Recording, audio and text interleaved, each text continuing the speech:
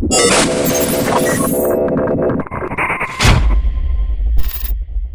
looking at the Rock 64 today. This is from Pine 64. You remember them from last week's show. We looked at the A64 LTS. Now, this week we're looking at this credit card sized board, so half the size easily, and pretty close to the size of a Raspberry Pi, I would say. We're going to find out when I measure it there. This one should we just get into the box? Yes, Let's because this is an unboxing, right? I'll talk while I unbox. Here we go. So it kind of actually has a reminiscent look to a Raspberry Pi, if you will. Let's get in here. The Rock 64 is. Are you ready for this, Sash? I am. 4K, Cool. 60 frames per second. It's got full sized HDMI.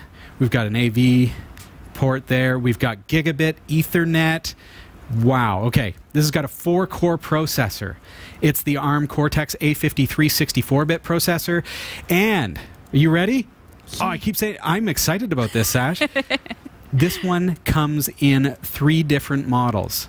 They all look pretty much the same, but there is a 1 gig model, which would put it on par memory wise. So I'm talking about the RAM here, would put it on par with the Raspberry Pi 3B Plus as far as the memory goes.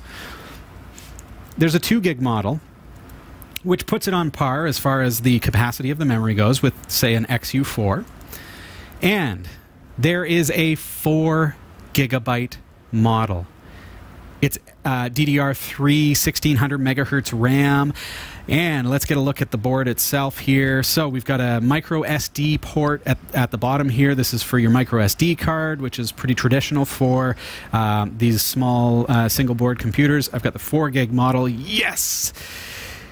And then on this side, once again, we end up with an eMMC, pardon me, eMMC uh, interface. So that again is uh, a different type of storage from the micro SD. It's more reliable, it's faster, and it's just a chip that we can snap right onto the board there.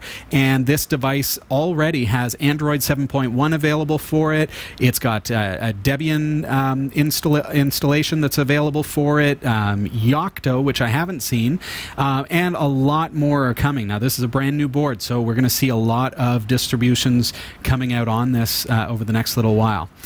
It has. You can see a, a couple of different GPIOs here. So we've got the uh, the Pi 2 bus, we've got the Pi uh, P5 Plus bus, we've got. Can you move that a little bit closer to the ruler just for me? You want me to see- Yes. Am I out of the frame? A little bit. Can bit. You see this? Look There at the we go. GPIO there. Thanks, Sasha.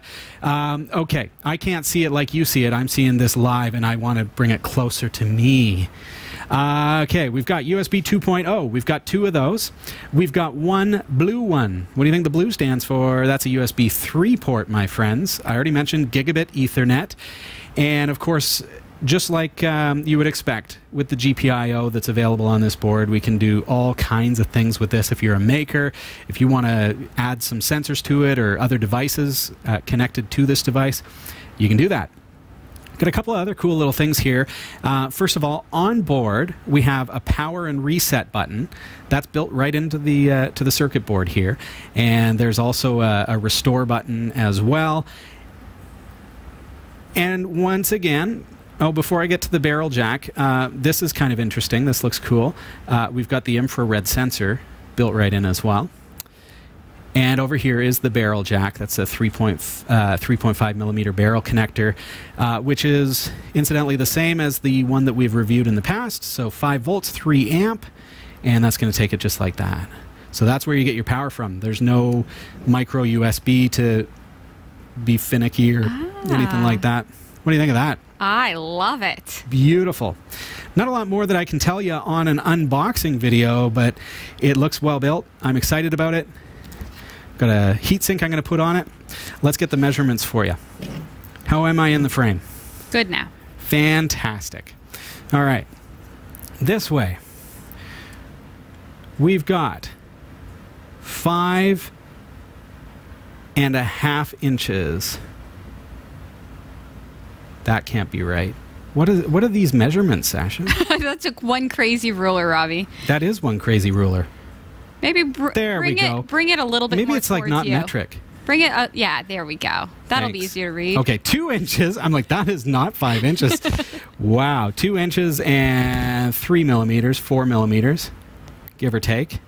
This way, I don't know what measurements these are. I'm gonna have to look at this off the air. Maybe it's like some like we work in metric. This is all. Oh yeah, it's centimeters.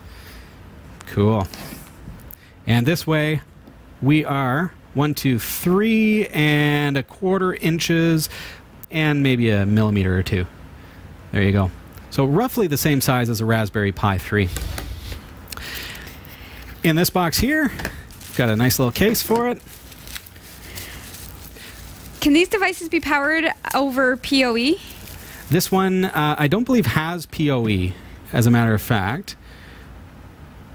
But uh, you could, I suppose, do a PoE um, splitter. You could Oh. buy a splitter that has the correct barrel adapter and power it that way. So we've got these kind of risers. Once again, similar kind of design to ones we've looked at in the past from Pine 64. So the board is going to go right on there.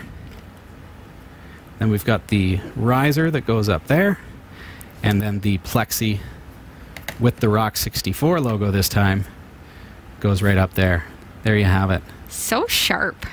Beautiful. I can't wait to fire that one up as well. We're gonna we're gonna have to put these things head to head, and this one with 4K 60p and a very nice processor and four gigs of RAM and eMMC and USB 3. We're going to uh, need to put some games on there as well and see how it performs with RetroPie or something like that. Um, now we are going to need, if you want Bluetooth for controllers or something like that, you're going to need a Bluetooth dongle or possibly a Wi-Fi dongle if you want to get it on Wi-Fi instead of using gigabit Ethernet. Uh, but this is a great looking maker board. Can't wait to fire her up.